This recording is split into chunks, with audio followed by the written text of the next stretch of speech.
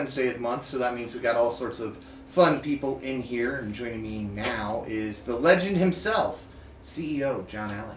Good morning. Morning. Thanks for the intro. I usually that's just in my mind, so I'm glad to see somebody else recognizes that also. Oh yeah, absolute legend. Had a pretty exciting board meeting yesterday. You know, they've been kind of catch up and everything, so this kind of really getting into this year's 2021 financials and stuff. So one of the biggest things we did, we've been working on uh, kind of a collaboration with Biomet Zimmer for about three months now. So finally got everything finalized yesterday. So we're going to be adding another robot to, uh, to Woodlawn's uh, stable here. Uh, it's called the Rosa Knee Robot, and that's a, a helps the surgeons with a state-of-the-art surgery uh, that basically allows the surgeon prior to your knee surgery. They take X-rays of your knee. They can go into this robot and virtually look at that surgery and do it before they ever make their first incision. Oh wow. So what we found is, uh, you know, from a, an accuracy when we're looking at that angle of cut to put the knee in, this will guarantee if you need a 30 degree angle, you will absolutely have a perfect 30 degree angle. So really excited with that. Uh, surgeons, both Dr. Rombach and Dr. Sheedy are real excited. Hopefully the machine will be in this week. Uh, start training staff. Dr. Sheedy's already done some uh, training at Biomet Zimmer. Dr. Rombach will be going over and get her training. So we're hoping to start doing some surgeries with this within the next two to three weeks. So, uh, you know, we've added that to the Da Vinci now, and now this. Uh, all of our surgeons now are going to be robotically trained. Uh, Dr. Nile got his training this week. Uh, did his first two robotic surgeries yesterday. Uh, Dr. Pullman's doing it. Dr. Clyde, Dr. Ida Bio, now Dr. Rombach, and Dr. Sheedy. So really exciting news for the, our patients because what that brings to them is one much faster recovery time, less pain. So you know you can have your surgery and, and you're back up and at it fairly quick as opposed to you know the old days. Remember you were in the hospital six weeks for a minor Yeah. surgery. So Yeah. this really is up in the game for our patients in this area and. Uh, Surgeons are excited, they like it, the staff is excited, so it was just kind of a fun day to finally get that all, all completed. We had several other purchases that we went through last year. It was on our capital budget. Um, OD, OB department is looking to become a level one birthing center. So there are certain requirements you have to meet to do that. One of those is we've got uh, basically uh, automated syringes. So we put a, uh, current ones don't have a automated drug library. The new ones will. So Okay. now that's one of the requirements. So, you know, if you try to infuse a drug that's not in the library, it's not going to let you do it. So again, a real patient safety issue.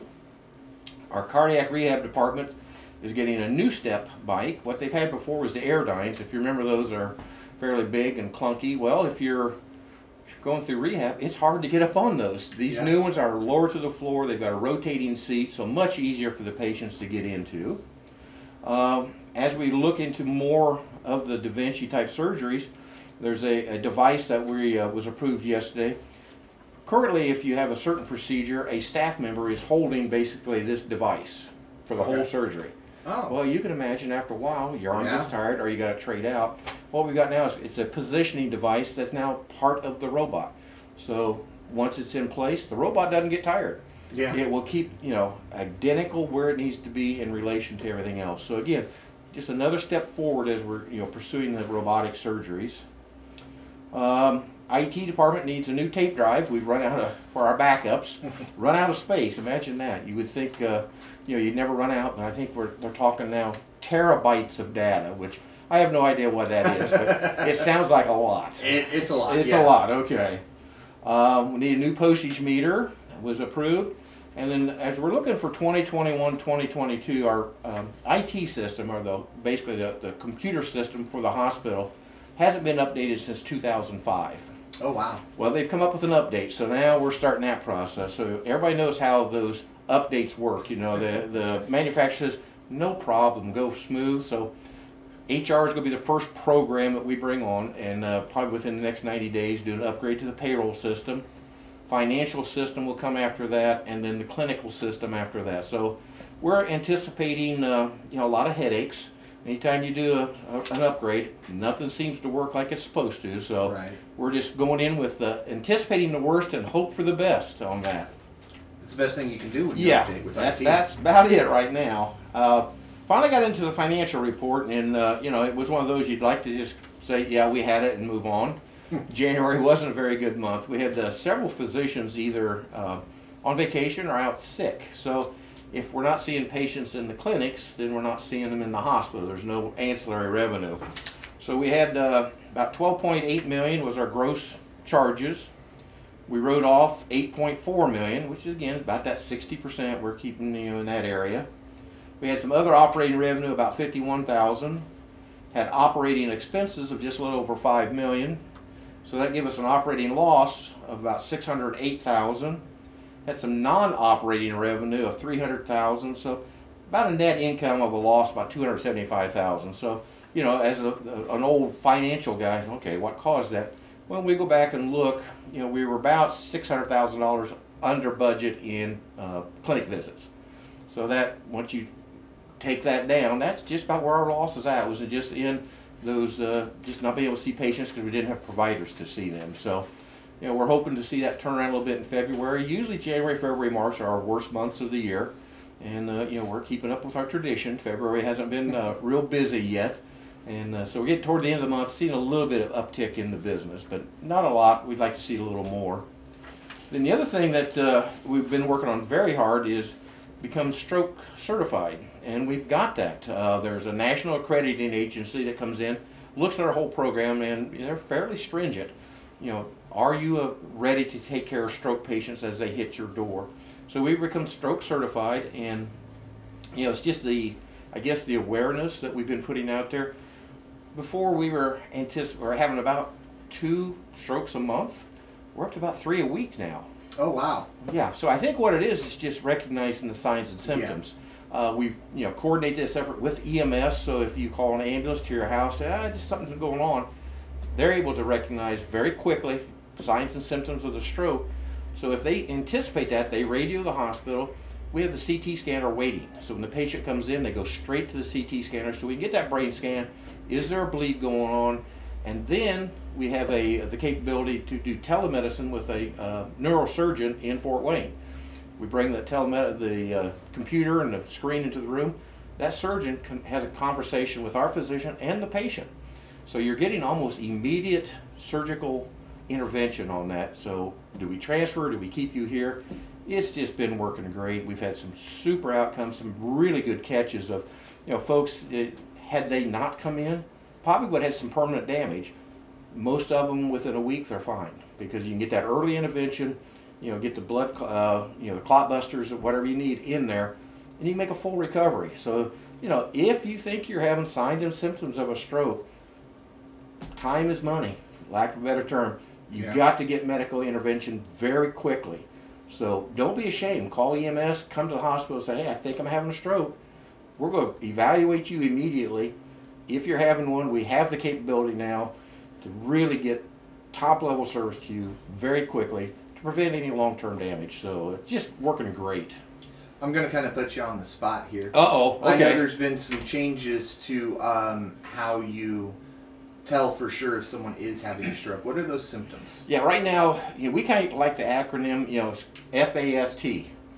Face. Are you having some droopage of one side of your face or not? Another one is, you know, arms. If you hold your arms out, does one want to drift? You just you don't have control over that. The other one is speech. Are you having some uh, slurred speech? Boy, say that five times. you know, that's another sign. And then the T stands for time. We need to get you in very quickly. So that's the best. If you can just remember fast. Am I having facial droop? You know, I have an arm. We call it arm drift. I just can't keep one one side or the other. Speech issues and then time. Get to your nearest emergency room as fast as you can. Best thing to do is if you suspect that is to call 911 because they can start very at the house some interventions instead of you know you get in your car driving to the hospital you know you're wasting time. So just keep fast in mind. That's probably the easiest one. And uh, face arms speech time. That's probably the easiest way to do that. Okay. Um, now I know we've talked the past uh, several months uh, about some uh, money you guys got from the government for COVID. Have Yes. you figured out what you're able to do with that? Absolutely not. Uh, every time we get some direction from the, you know, the government saying you can use it for this, so we're starting to plan, and then we get, well, wait a minute, we've rethought that. No, you can't. So uh, we're working with uh, uh, our basically our auditors who has some contacts in DC, some lobbyists. So we're hoping within the next 10 to 15 days to have a little better idea, you know, what can we spend that money on? So, you know, it, it looks good on the financials because it's all just sitting in the savings account. But we've got some things we'd love to use that money for. Uh, but the only money we've been able to use was the uh, payroll protection plan money. Uh, way back when this first started, you know, we was able to get enough to fund our payroll for three months.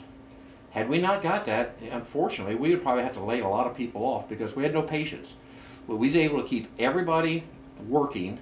Now they weren't doing their normal jobs. We had to find stuff for them to do. Right. But at least they got their paycheck, which you know really helped them through that March, April, May time frame where we had very only patients we had were emergencies, so there was no electives at all coming in.